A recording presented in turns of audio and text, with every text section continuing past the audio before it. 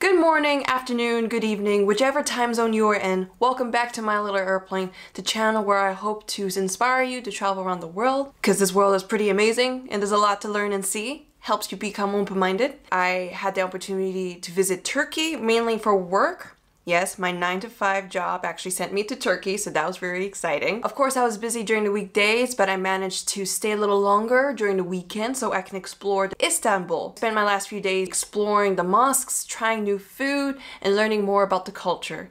So, without further ado, let's get this vlog started, shall we?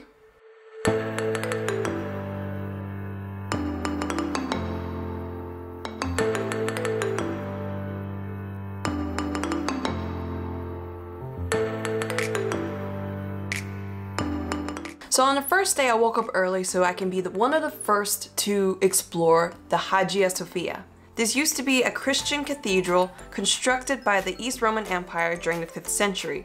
This is where the emperors were crowned and was later renovated into a mosque during the 1400s. Today it remains as a mosque, but it is open as a museum to the public. This place is huge, absolutely amazing. There's still some original paint left as you can tell on the ceiling of the mosque. Unfortunately today it looks like they're doing a lot of reconstruction. At least you can still see most of the beauty of the mosque.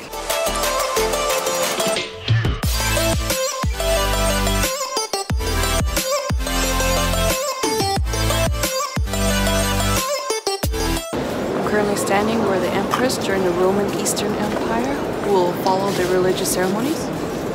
I would say she had the best spot in the mosque. This place was so big, it was beautiful. I love the gold, the black, the calligraphy, the, the whole theme of it just mixed in so well.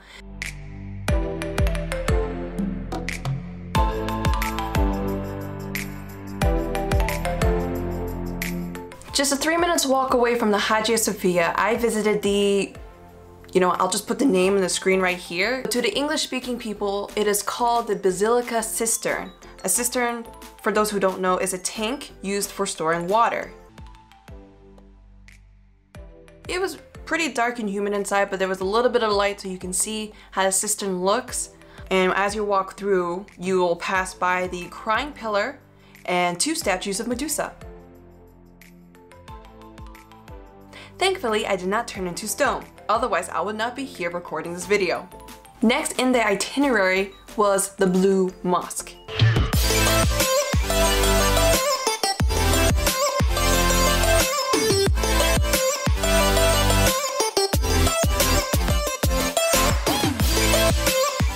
So the correct name of the Blue Mosque is the Sultan Ahmed Mosque.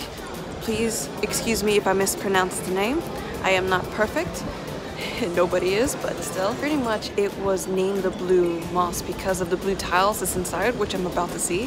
Very looking forward to it. Good thing is that this place is free, so you don't have to pay any liras to enter the mosque. I was really, really, really excited to enter this mosque because I wanted to see the blue tiles everyone was raving about, hence the nickname Blue Mosque. But when I finally got inside, all I saw was pillars and plastic and other things covering up the main dome of the mosque for renovation. I will admit I was upset because this was one of the highlights I wanted to see so bad, but be, trying to be optimistic, this gives me a reason to revisit Istanbul so I can see the blue tiles once they're done with the renovation, hopefully soon.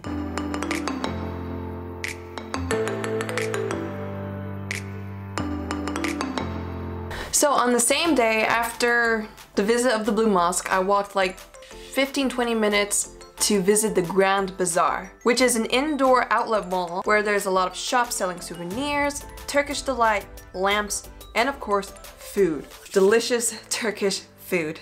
By this time, this was around lunchtime, so I was starving. What I like to do when I travel to a new city is to have as much traditional meals as I can. I want to see what's the norm of that city, like what's normal to eat or what's most popular to eat. And I found this restaurant, this really cute restaurant inside the Grand Bazaar and I asked the waiter what's the most traditional meal. And he recommended hamburger with fries. Nope.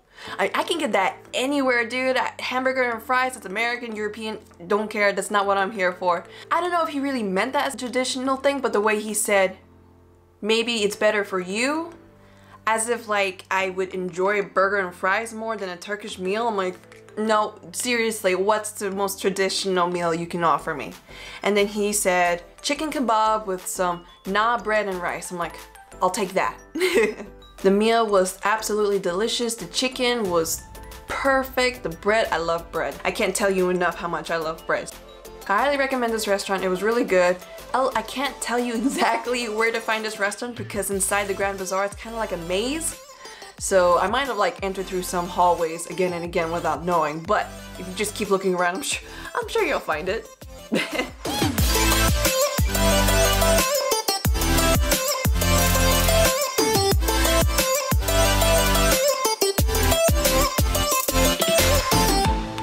After lunch, I did some shopping, and after a little more walking around through the Grand Bazaar, I took a break at a cafe to try some künefe. The best way I can explain what this is, is that it's cheese with shredded dough soaked in sweet syrup. The one that I had came with vanilla ice cream, but you can also have it with whipped cream.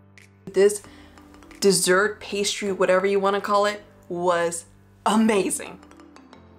Yeah, normally I don't like the overly sweet stuff, but this with the melted cheese just mixed in so well.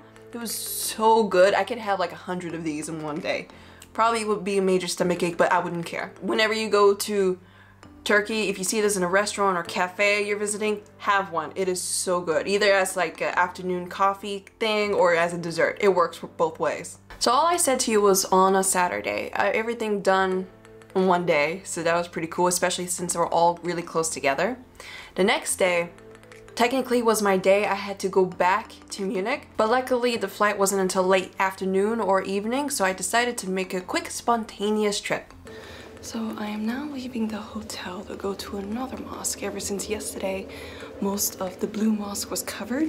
I felt like I only saw like a mosque and a half. So I thought today, before my flight back home, I'll head it to another mosque so I can, you know, build up the experience I wanted to have yesterday.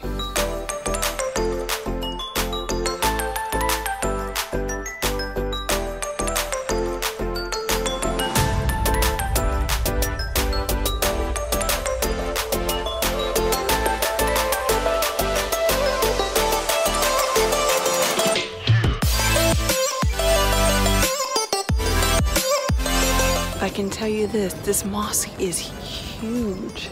Just a tad bit bigger than the Blue Mosque. At least coming from the outdoor perspective.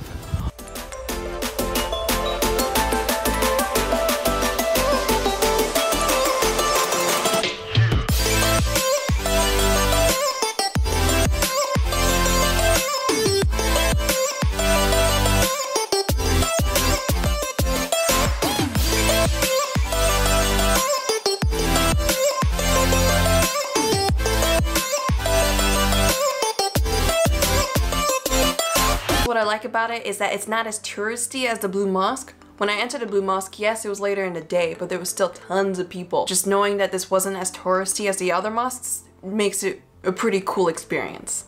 After visiting that mosque and taking lots of awesome pictures and videos, I went back towards where the Hagia Sophia and the Blue Mosque was because close by was the Palace Museum to, you know, just enjoy the rest of my day seeing some cool architect and walking around the courtyard because that's where the Sultan used to live in Istanbul. This was built during the 15th century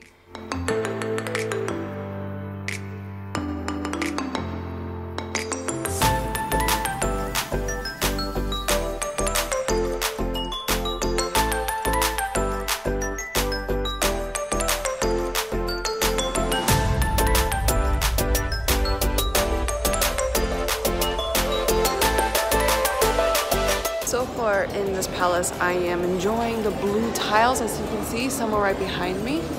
They're really pretty, very unique. I love the designs.